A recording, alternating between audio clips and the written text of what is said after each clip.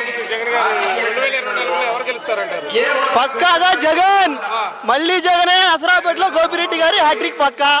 నమ్మకం ఏంటి? ప్రజల్లో ఉంటారు సార్. ఎప్పుడు ప్రజల్లో ఉంటారు?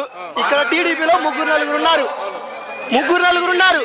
వాళ్ళ కొట్టుకోవడమేలే కానీ నిలకడ లేదు. ఒక్కడికి నిలకడ లేదు. నరసరావుపేట అంటే ప్రజల్లో ఉండే నాయకుడు గోపిరెడ్డి గారు. ఏ సమస్య వచ్చినా వెంటనే వస్తారు.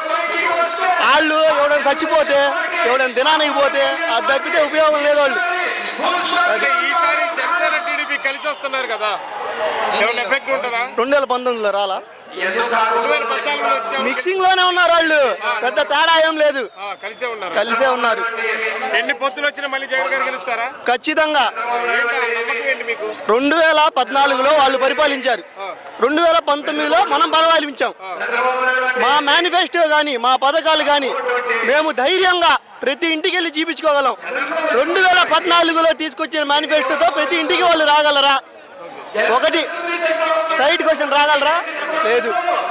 ప్రతి రైతులకు కానీ విద్యా వ్యవస్థకు కానీ మేము ఖర్చు పెట్టింది మేము చూపించగలం. వాళ్ళు చూపించగలరా? లేదు అది రానున్న ఎన్నికల్లో మళ్ళీ జగన్ గారు గెలవడం ఖాయం. పక్కా మళ్ళీ జగనే